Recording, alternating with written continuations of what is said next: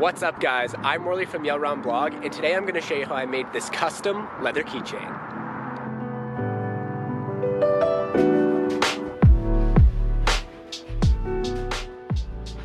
The keychain is made from 5 to 6 ounce veg tanned leather. I made this keychain for my Aunt Becky, who has always loved horses. She asked me to make a keychain featuring her horse Splash, who she's had for 15 years. I found a nice section of leather and used a paper template and pencil to trace the shape of the keychain onto the rough side of the leather. This gave me an outline just visible enough to cut out with my leather scissors.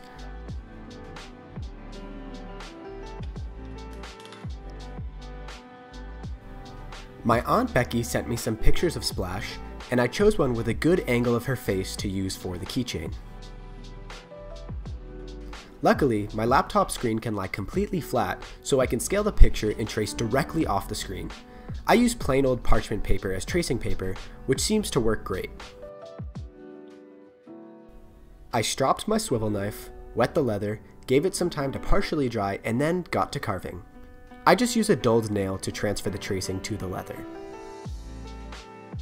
Since doing this carving, I've learned that if I wait a bit longer for the leather to dry, enough that it's close to its natural color, I can get much crisper cuts and stamps in the leather. Shout out to Kyler Brown at Brown Leather Carving for the advice. I've been working on my patience with this and getting really awesome results. Since I was going to be painting this carving, I made sure to focus on the lines that separate areas of different color, such as the coloring on Splash's face, as well as her bridle. Once the leather had dried, I skived some thickness off of the portion that has to bend around the split ring. I'll have a link to this skiving knife in the description, as well as links for the rest of the tools I used in this project. I did a lot of the painting on this keychain with leather dye, so I wet the leather again to avoid splotchiness when applying the dye.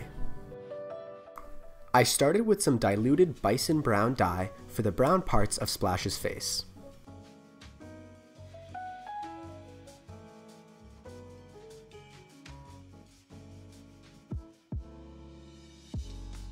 I was really happy with the shading results I could get by utilizing multiple coats of dye in specific areas.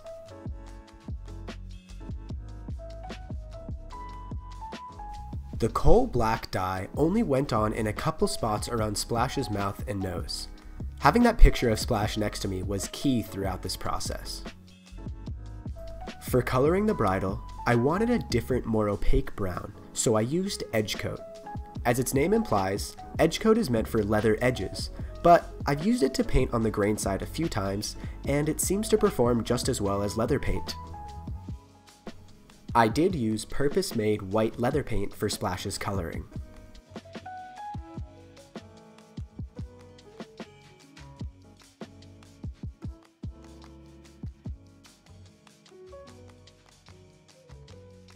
I gave the paint and dye half a day to dry and then oiled the keychain with neat's foot oil. I gave the oil a few hours to absorb evenly into the leather.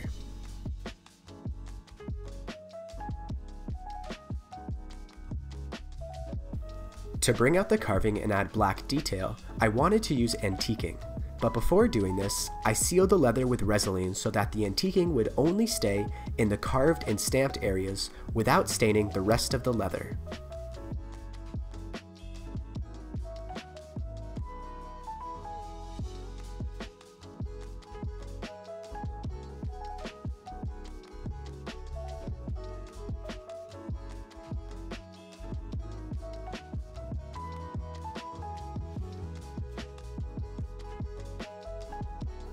I let this set for half a day and applied a final couple coats of Resolene to seal in the antiquing. This step is always very finicky because the antiquing doesn't really fully set, so you have to be really careful and dab away the bits of pigment that come out of the tooling marks.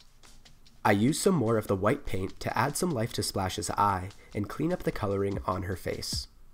With the detail work done, I was ready to assemble the keychain with contact cement.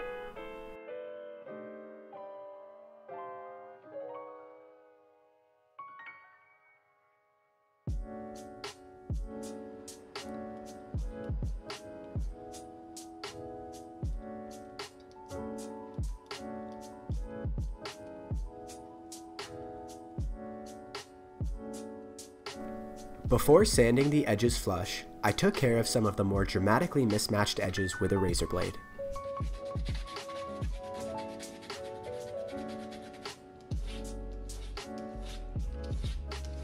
Once the edges were flush, I added a bevel to both sides of the keychain.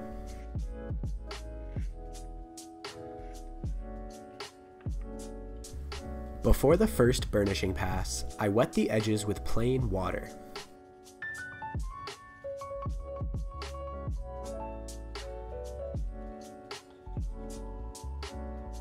I find that the extra work of a final burnishing pass with beeswax is almost always worth it. Especially when you're matching up two edges, it can fill in some of the gaps and just give you a really beautiful smooth edge. It also smells great.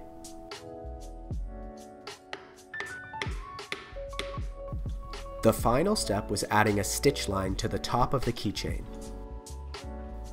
I recently started integrating saddle stitching into my work, and I'm really happy I did. It's honestly not as hard as I expected.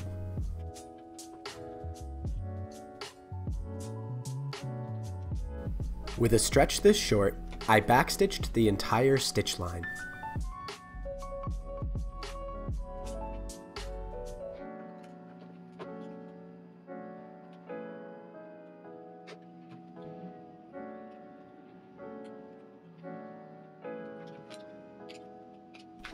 I tied off the ends, rubbed some beeswax on the knot, tap the stitches down, and this puppy was done. All in all, I'm really happy with how much detail I could capture at such a small scale with the combination of carving, dyeing, painting, and antiquing. Thanks for watching, and if you're not already, be sure to subscribe to my channel. I have videos about making all sorts of stuff. And if you're a die-hard Yelrom blog superfan, check out my Patreon page. I'll leave a link in the description. Have a great day.